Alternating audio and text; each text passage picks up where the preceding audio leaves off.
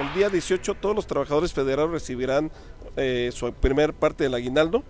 Este, en diciembre, la primera semana, recibirán la otra parte, pero la derrama económica para el buen fin son 250 millones de pesos en Aguascalientes. Obviamente, este, lo que estamos pidiendo es que sean eh, eh, de primera necesidad, que paguen las deudas y sobre todo, pues bueno, que tengan la posibilidad, si tienen necesidad de comprar algún objeto, que chequen muy bien y que lo analicen. Pero la derrame y que se queden en Aguascalientes principalmente. La derrame es de 250 millones, muy importante para Aguascalientes. También viene lo de los vales de fin de año, que son eh, 13.700 pesos, que yo creo que es también algo muy importante para los trabajadores, entonces tenemos que tener tranquilidad y mesura en el gasto. Nosotros somos 18 mil trabajadores lo que, los que agrupa la Federación de Sindicatos y pues obviamente esa es la, la, la derrama económica que va a ser muy importante para Aguascalientes.